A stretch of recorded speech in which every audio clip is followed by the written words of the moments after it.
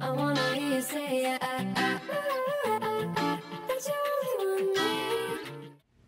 Hey guys, welcome back to my channel. So today I am going to be doing a kitchen clean and declutter with me. I'm super excited because this is the very first video in my clean and decluttering series.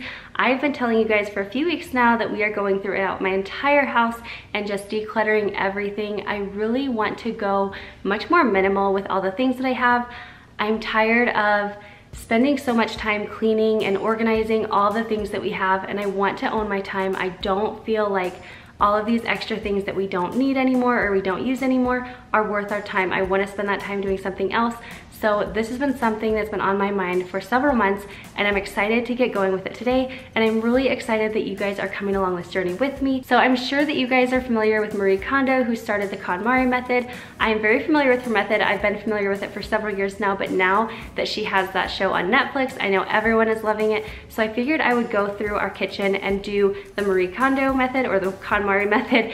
And then I'm also going to be kind of adjusting it and altering it slightly and doing some of my own methods that I do that I feel work a little bit better for me. So hopefully you guys can kind of learn from both methods and see which parts will work best for you and go ahead and tackle your own space. I also am going to be breaking this video into two separate videos, so like a part one and a part two. I asked you guys if you would rather see one really long video of me cleaning, decluttering, and organizing my kitchen, or if you'd rather have me break it into two slightly shorter videos. And most of you seem like you guys would rather see two shorter videos, so I think that's what I'm gonna do today. So part one, which is today, will be cleaning out my cabinets and everything, decluttering, just wiping everything down, getting it a nice start. And then next time for part two, I will be going in and actually taking all the items that we have left that I didn't get rid of. I will be organizing them, putting new systems in place, and just making the items that I have left much more usable and much more easier to get to. So I'm excited for this two-part video. Be sure that you are subscribed if you are not already so that you don't miss out on that video. YouTube is being kind of crazy lately and not really notifying people, so definitely hit that notification bell so that you have a pretty good chance of seeing my videos when they pop up. And then also be sure to follow me over on Facebook and Instagram because I do share my videos when I do post them over there as well. So that way you are definitely going to be notified anytime I put up a new video. And the last thing I wanted to say before we get into this is, as I said, I am going to be going throughout my entire house and getting everything decluttered. There's nothing that's off limits. We are going through closets, the boys' room, the playroom, the living room, the office, like everything, bathrooms, you name it, I'm gonna go through it. So let me know in the comments what you wanna see next because whatever gets the most requests, I will be decluttering in the next videos. So be sure to leave me that comment. And without further ado, let's go ahead and get on into it. All right, so I'm gonna show you guys what's inside all of these cabinets. I feel like we just have so much stuff and we just have not decluttered. We definitely do not need all of this and we don't use all of this. So it's just taking up space. Sorry for that lighting. And it is time for a lot of this stuff to go. So this has been a long time coming. I've wanted to do this for months and I've been waiting to share this experience and this journey with you guys. So I hope that this gives you the motivation that you need to go ahead and tackle your space. Let me know in the comments what areas of your house you are planning to declutter or if you have already decluttered a little bit this year, let me know if you found a difference or if you've just felt a difference after getting those areas done. I know for me, after I got the kitchen done, it just felt like a whole new space and I feel so much more peace when I'm in there. So I am so looking forward to going throughout the rest of the house. And if you guys are finding motivation and inspiration from my videos, please go ahead and share these on your social medias or share them with a friend. I would so appreciate that. And if you do share on social media, be sure to tag me so that I can go ahead and share you back and just say thank you to you because I really do appreciate you sharing and I am just so thankful for this community that we have created together. So the first thing that I am doing is I am just actually going to be going cabinet by cabinet and drawer by drawer I know the Marie Kondo method, it says to go ahead and just pull everything out and get everything into a pile, but to me, that just feels so overwhelming to see everything I have. I do understand the whole point of it because then you are really seeing everything that you have, but it just feels much more stressful to me and gives me more anxiety. So, to be a little bit more calm in the situation, I will just take out everything from one cabinet and then I will go through that cabinet and put those things away. And that's just something that works for me. Let me know if you guys declutter this way, kind of space by space, or if you just go ahead and pull everything out of the room and declutter all at once. The first space that I'm decluttering is our plates and bowls cabinet. We had a lot of extra plates and bowls in here that we just didn't need. I recently gotten some matching Corelle dishes, so we didn't need all of the extras anymore, and I felt like they were just taking up so much space, and it was just not calming to me whenever we would open up this cabinet. So I wanted to really simplify things and only keep things that I knew we would use on a regular daily basis.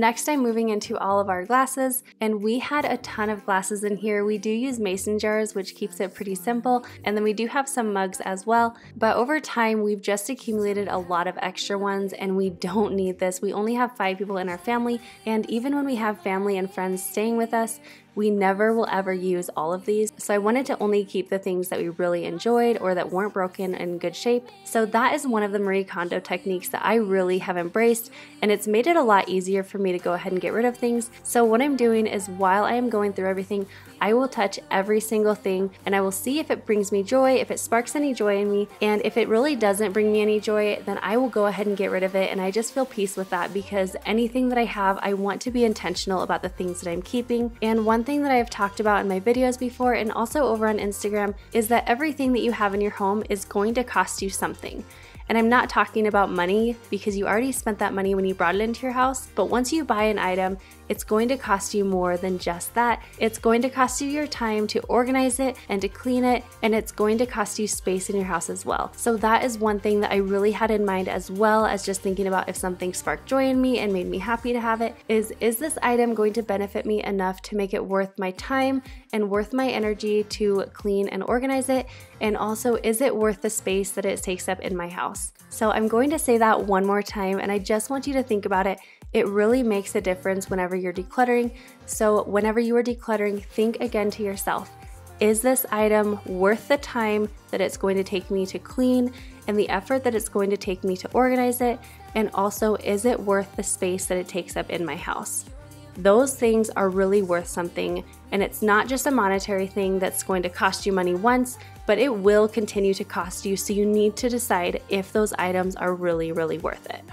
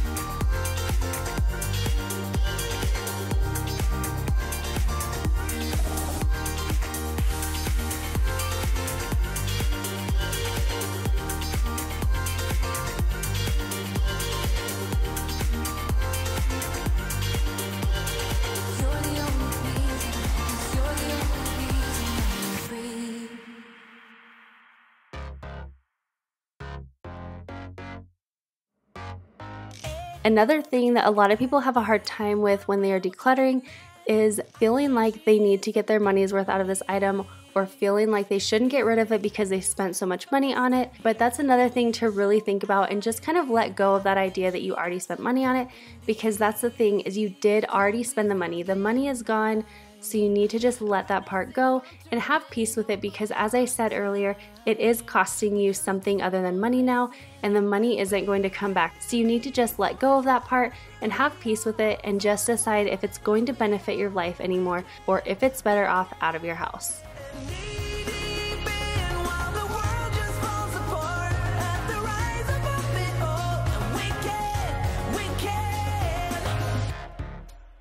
got me saying hey you marry me? Two kids a house and live happily. I think we are so meant to be. The next cabinet I started working on, it holds some different dishes that we use whenever we have company over. It has a million of my cookbooks that I pretty much never pull out and it has like some herbal teas and some items that we put into our smoothies but it just hasn't been organized well and I feel like it's just very cluttered in there. So I was very excited to tackle this one and just kind of minimize everything that we had. I know that a lot of things in there we do actually use, but a lot of things we really didn't anymore, so I needed to reevaluate all those items. And as soon as I get all the items taken out of any cabinet or drawer, I am just going through with my Dyson vacuum. I've taken off the long handle of it and I'm just using it as a handheld vacuum with a little attachment and I'm just vacuuming out all of our cabinets and drawers with this and then I go in with my Caldrea sea salt and neroli spray and my microfiber towel and I just give it a good wipe down. But that is one tip that I would recommend. I would use your attachment to your vacuum and just suck out any extra little bits and pieces. It will make cleanup a lot easier afterwards because you're not just going to be wiping those crumbs onto the floor. You're just sucking them up with the vacuum and then you can go ahead and just wipe down any spills or anything extra left on your cabinets with your rag.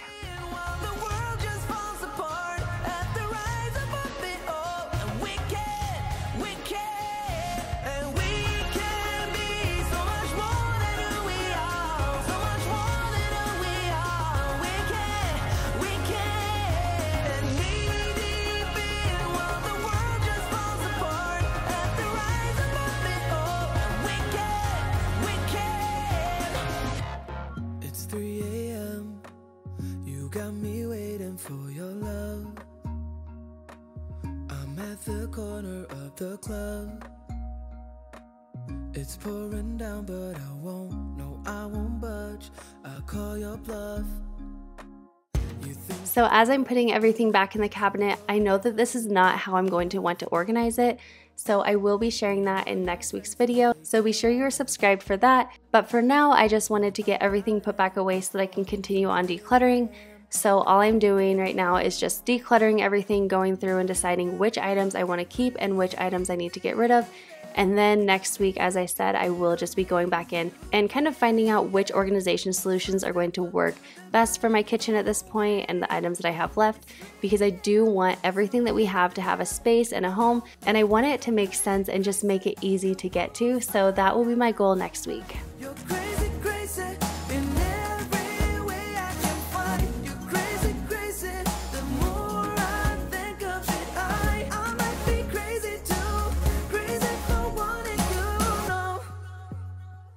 So I'm not showing this throughout the whole video, but you can just see here after I get done organizing and decluttering each cabinet and drawer, I just take everything off our countertop and I move it over to our table. And our dining room table is just going to house all of the things that I need to get rid of and I need to donate and sell. So I will be showing you at the end everything that we got rid of, but it was a lot. Our entire dining room table was so full of all of these items. And I have to tell you, it just feels so, so good. Next, I'm just moving into our cutting board and our measuring spoon drawer. And as you can see, this drawer ends up accumulating a lot of extra things. I don't really know how it happens, but I feel like the system that I had in this drawer is just not working, or almost the lack thereof that I had for an organizing system in here.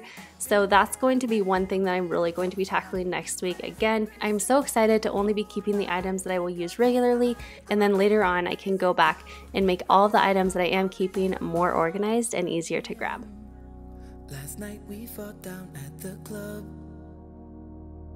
But yet you're here in my arms. They're calling us crazy. I know that it's crazy. Not logical. Against all odds. I call it love. I call it love. Look at all this stuff. All these items were either not supposed to be in the drawer or they were just items that had kind of gotten stuck there and I'm never going to use. It just feels so good to get all this extra stuff out of the drawers. it's 3 a.m. So if This drawer is another one. It's kind of like my disposable items that I have. I usually do like to use a lot of reusable items when I can, but sometimes I still do use some cling wrap or some aluminum foil or even some baggies depending on what we are using them for. So although my ultimate goal would be to completely be reusable and everything, this is something that I have and I need this space to be organized because as you can see, it can just get so out of control so quickly.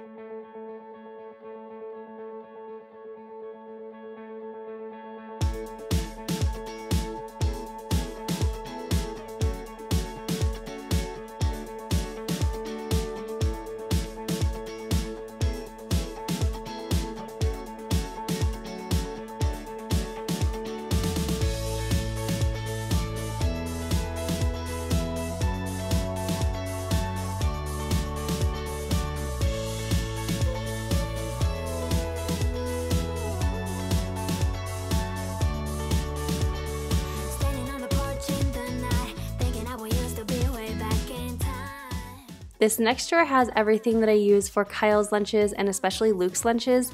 But honestly, I feel like I only use a few of these items and a lot of them just end up sitting there and being stored and organized, but I just don't need this much, which is kind of what I'm finding out in almost every single one of my spaces in my kitchen is even if some spaces are organized, they are so overly crowded and so overly cluttered that the organization doesn't even look nice. It doesn't feel calming when you see it. And that's the feeling that I really wanted to go for in my kitchen was anytime I open up a drawer or anytime I open up a cabinet, I just feel calm and peaceful seeing only the items that I really need and only items that I really want and use.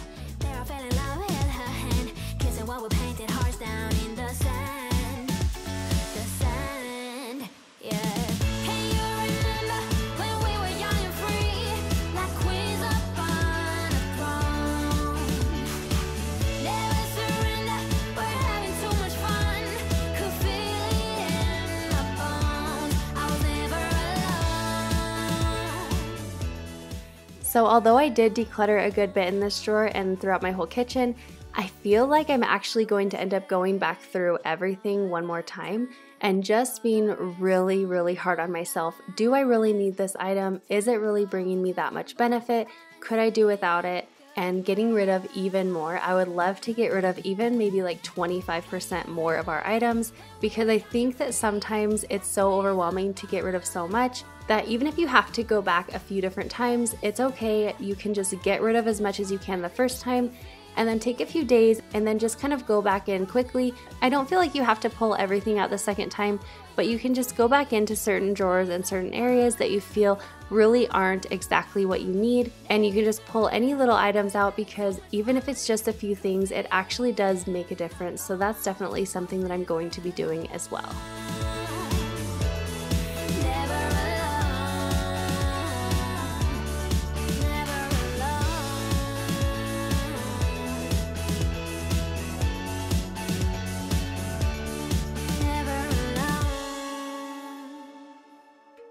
So next week when I share my kitchen organizing and clean with me video, I will be sharing where I got all of these bins, but I did want to say something really quick about these little rose gold wire baskets. I got a lot of questions about them whenever I cleaned out my fridge and my last cook and clean with me, and these ones are actually just from Walmart. They are really inexpensive and I believe they have them online as well, and they do have them in a few different sizes. So if you are interested in these, definitely check out your local Walmart or check them out online because they are really, really pretty and really convenient.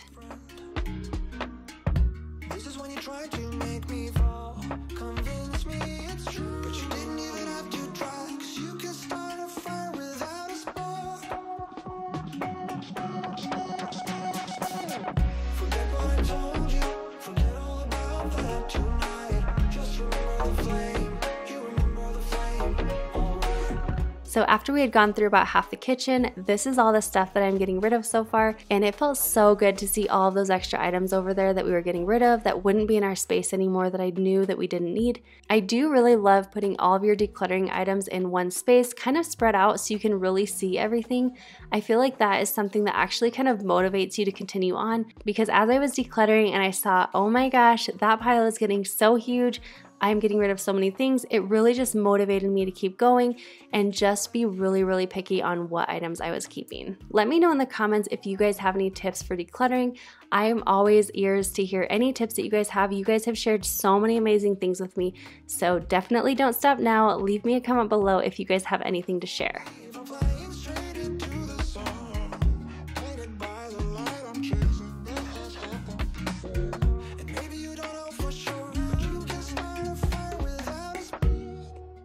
So our silverware drawer actually wasn't too terrible. I feel like that's one that I had worked on before several months ago and that one kind of stayed good for me. But this drawer is a different story. This is just our utensil drawer and I feel like I do have a lot of utensils and I feel like I do cook with a lot of them. So that one's kind of a hard one for me to actually declutter crazy because I do cook a lot and I cook a lot of different things.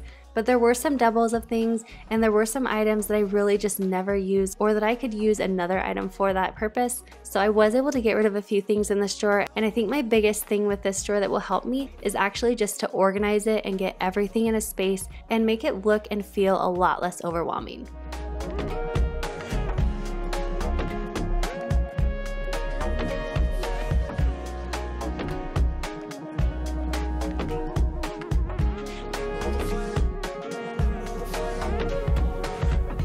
So this is my pots and pans drawer and I really didn't want to pull everything out because I know that I only have the pots and pans that I use. It is from a set that I got several years ago and we just love this set so much. I will link it down below because anytime I share cook with me videos, I always get a bunch of questions on what style pots and pans we have.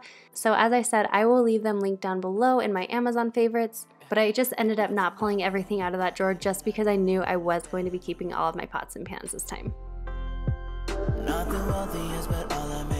All on you.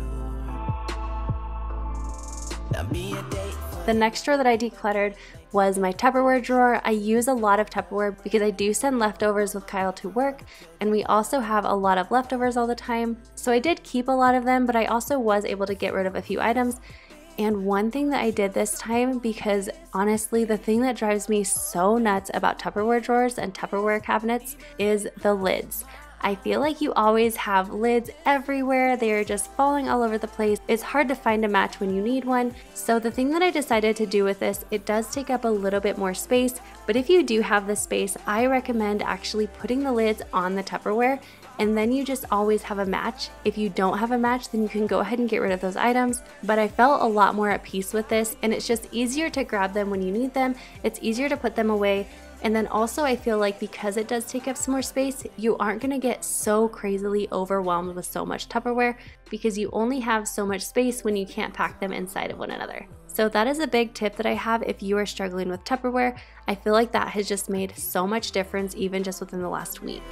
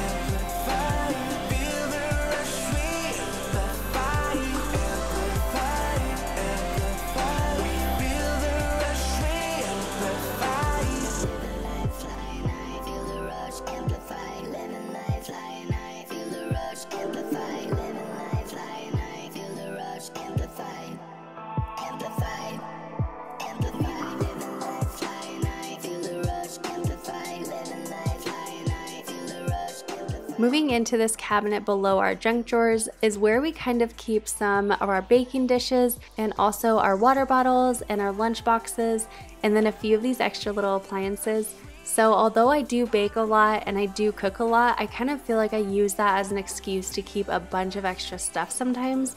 But really, I don't end up using all of these things and I don't use them all all the time for sure. So if there's an item that I don't use all the time or I have something else that can kind of double as that use, then I will go ahead and get rid of that. Like for example, I had several baking dishes and I didn't need all of them, so I got rid of a few extras and I only kept my very favorites that made me feel happy.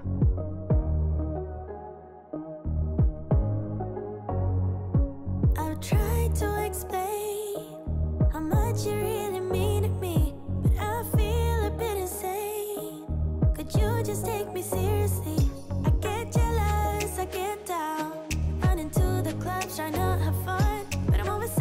Moving into the lunch boxes, I am such a sucker for things that are really cute. Honestly, a lot of these brought me happiness. I feel like a lot of these thermals are just such cute designs, but what I would do is I would just hold up each item and feel which one really brought me joy and which one didn't. And I knew that I really only needed one of each. And so what I did is I would just hold them up next to each other and see which one made me the happiest. And it sounds kind of silly, but it really works, you guys. So if you are struggling with knowing that you don't need certain things, that you don't use them all the time, but you don't want to get rid of stuff, kind of compare them to each other and just make yourself choose your favorites because if you're not using them all the time, then they are really only costing you. The next drawer that I went through was just the one that was under our stove, so we just have several cooking and baking dishes down in here. And one quick tip that I found as I was organizing the space is if you have cooling racks, is go ahead and set one of them up in your cabinet or your drawer and you can actually slide some things under them and it makes it so easy to store them and you can just really maximize your space this way. So this was something that I had never done before but I was just trying to figure out how to fit everything in here and I just wanted to bring a little attention to it because it just made me really happy to find a better way to store these.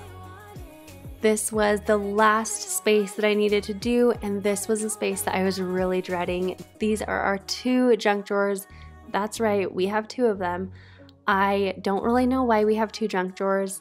When junk drawers are actually being used properly and they are organized properly, it's great, and I feel like they can bring a lot of benefit just keeping things close for you and making things nice and easy to grab. But as everyone knows, I'm sure junk drawers just get so unorganized. So I'm really going to be finding a great system next week when I work on this to go ahead and organize this in a way that can kind of stay organized. And I also only want to keep items in here that really belong in here that we use all the time.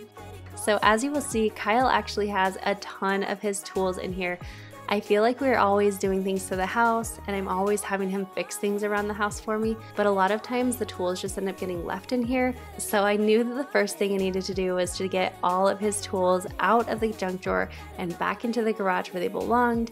And I might end up actually putting a little bin down in the cabinet below this so that when his tools get brought in here, I can just put them down in that cabinet and wait for him to put those away every so often. And that way it won't be taking up our junk drawer. I've found that if you have a problem like this, where tools are just always getting left inside, for example, and you obviously don't want it to stay that way, but it just keeps staying that way, it's kind of better to try and find a way to embrace it. So instead of just saying, that's it, tools are never gonna be in here anymore, and you just feel like that is just not very realistic because you know yourself or you know your family too well, go ahead and try and find a solution to that problem other than just saying that problem is not going to be a problem anymore. And I hope that makes sense to you guys, but that's just something that I've found works in my life. I've done that before in different areas of my home. Like, for example, I always want my kids' toys to stay up in the playroom, but I know that that's just not realistic. They are so young and they love having their toys in the living room. So instead of just saying that problem is not going to be a problem for us anymore, we have a toy bin that stays downstairs, and that way it just makes that problem a little bit easier to handle. So definitely try that out if you are finding that you have an issue that just cannot seem to be taken care of. Go ahead and try and embrace that issue and find a solution that makes that problem a little bit easier to handle.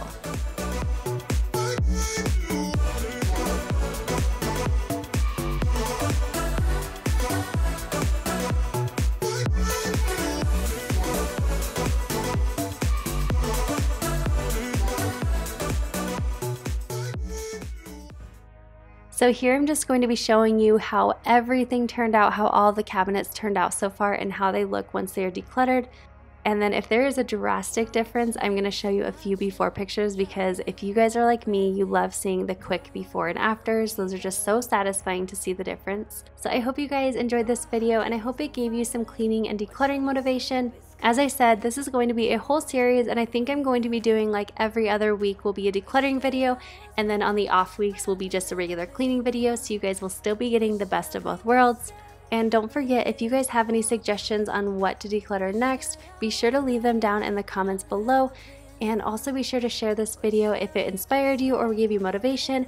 I would so appreciate that. I love you guys so much. Do not forget to subscribe down below if you are not already. And also head over to Instagram and follow me over there. And I will see you guys in my next one.